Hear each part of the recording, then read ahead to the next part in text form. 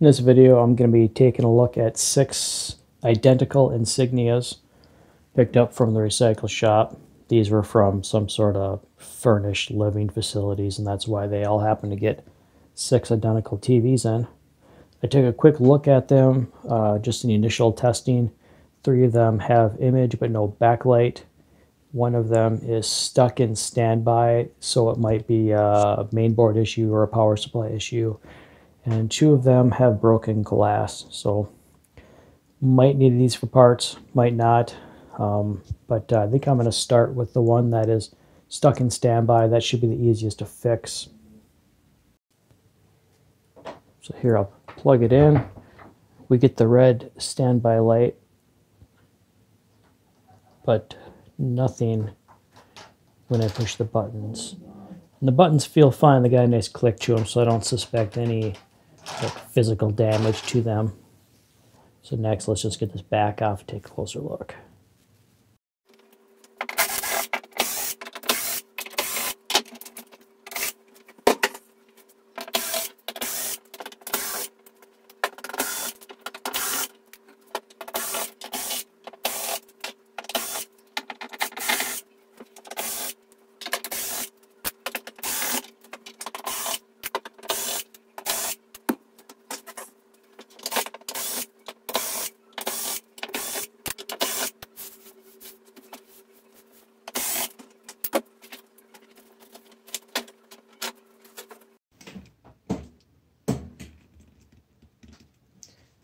I have a spare main board left over from the last time they got a bunch of these in.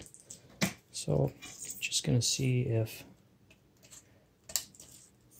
see if this main board will come out of standby. I only need the power supply and buttons. I don't need to hook up the T-Con and I don't need to hook up the speakers.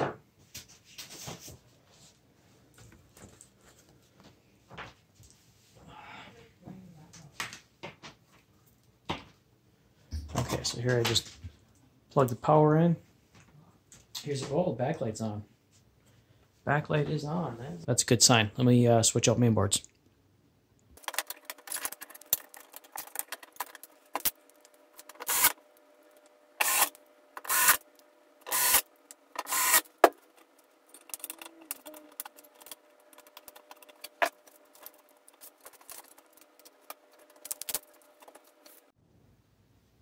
All right, let's get this thing plugged in.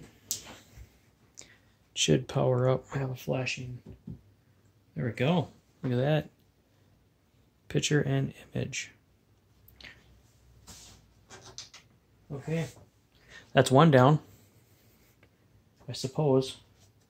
With the original main board. Maybe it had a failed EEPROM. That wouldn't surprise me.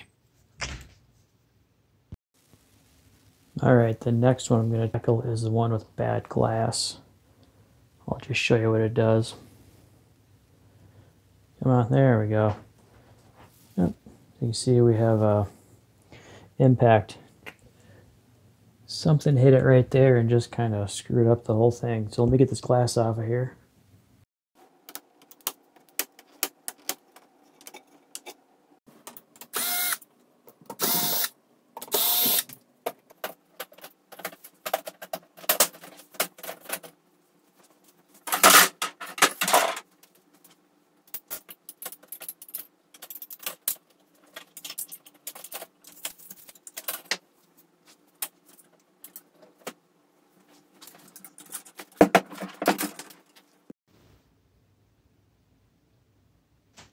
Here I've switched out the uh, glass with the uh, LED frame.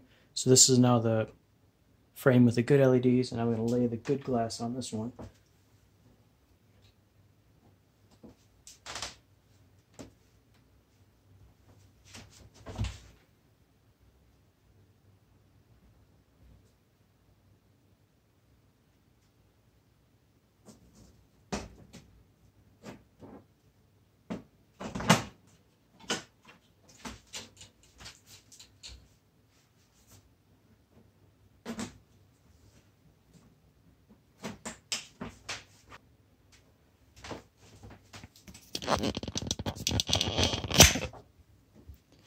All right, it's very important you make sure the glass is sitting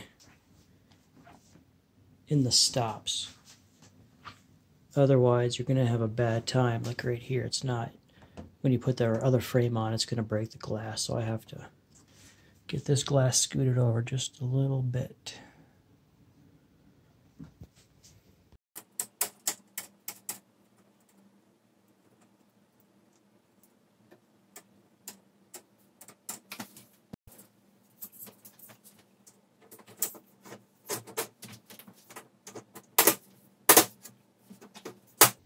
Alright, so I got the new glass laying down. I'll do a test before I go any further. Got a flashing stab and just a blank white screen. Hmm. I think I might have to switch out the T-Con. Alright, I just switched out the T-Con. And if we take a peek under there, yep, we got a good image. No more white screen.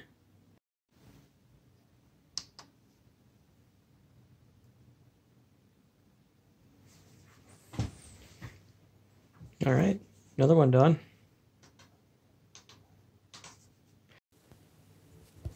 Now the next two that I have have bad backlights and I'll show you how I know that.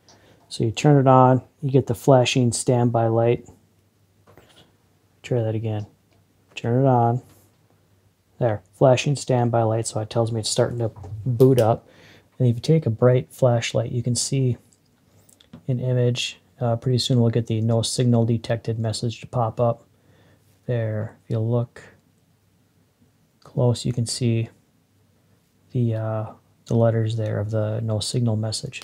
So I know it has image, so we know power supply is, well, we could assume the power supply is good. We know the main board's working, T-Con's working, screen is so far apparently fine. It's just a matter of uh, making the backlight, backlight come on again. So I'm going to pull this panel off and look for some uh, bad LEDs. Now to get down to the LEDs, I followed the same procedure I just did to remove the glass, but I also have to remove these side uh, clip trim pieces here. These are just have several clips on them that you have to unclip.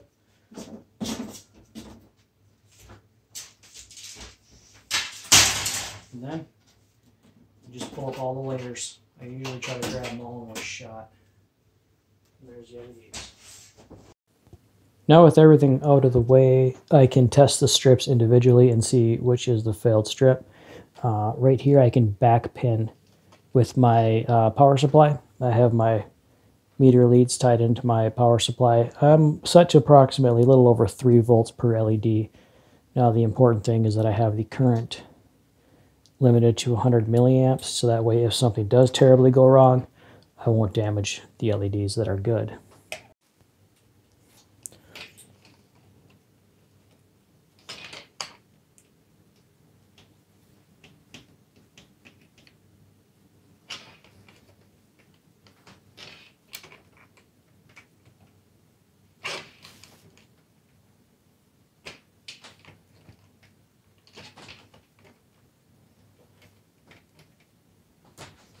Okay, it looks like it's strip number five from this side.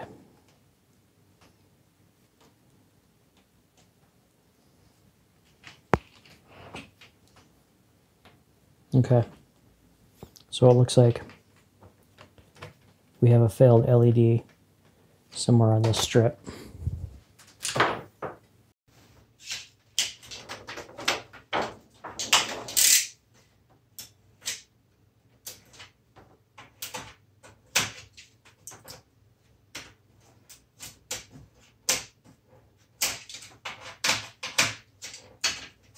I've already unplugged it. There.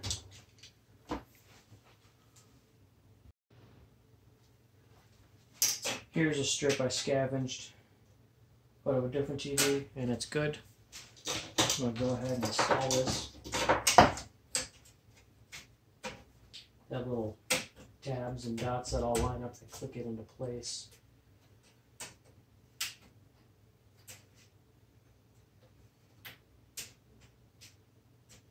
Okay. Plugged in. Let's see if this case is any good.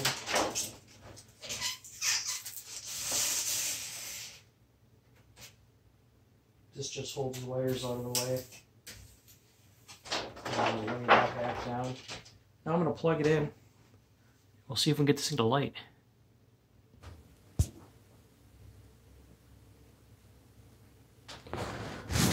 Hit the power button here.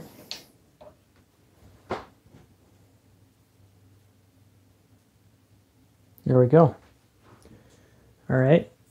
So I do see every single LED is now lit up. Now with this model of TV, it has a reputation of having bad LEDs. So if you do not want to do this process all over again, replace all of the strips with new strips and uh, hopefully you can find something that has maybe upgraded. See if I can spin this the right way. These kind of lock into place here. Uh, see if you can find some upgraded strips that are better than the originals. I think on the next TV, I have one left with failed LEDs on that one. I am going to um, see how much current it is pulling uh, during normal operation and on startup.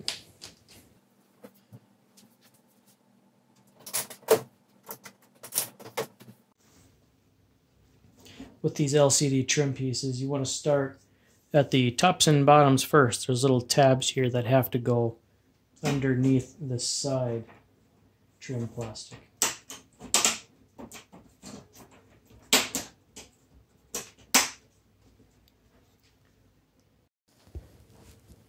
So you really want to make sure all these clips are in all the way and that this uh, rubber edge here is flat all the way across. If there's any areas where it didn't clip right and if it's sticking up, you'll end up breaking your glass. So you really want to take this step and just make sure that uh, it is tight all the way across.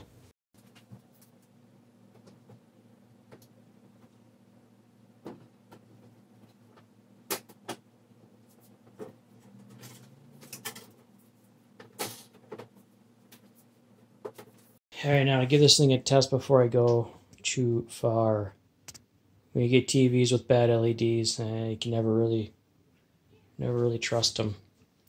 Uh, like I said before, smartest thing to do is replace all of them. So do as I say, not as I do. And here we've got another another one working, another one down. So one left to go. And on that one, I think I'm going to take a little closer look at uh, the current filled LEDs.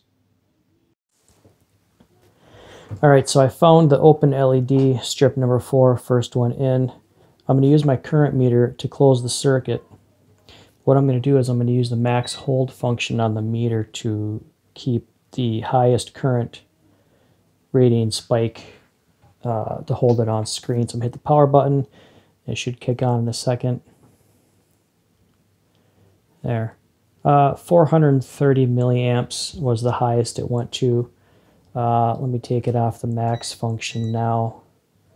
And so I'll just read it. We'll be reading live data, the live current draw. So 430 milliamps.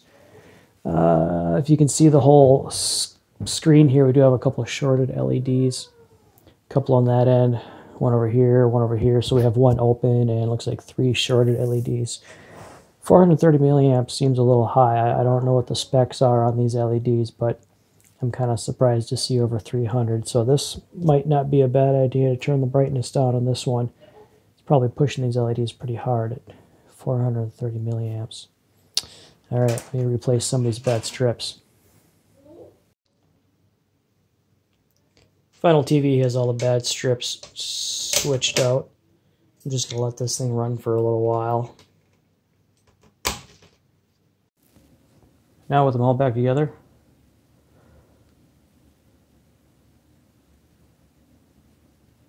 so I got four of them working. Uh, unfortunately, two of them had broken glass, so I can't do anything about that. One had the bad T-con that was given the white screen. One wouldn't uh, respond to the power button. It was stuck in standby. That was the main board. And two of them had failed LEDs. Well, I think that uh, wraps up this video. See you next time.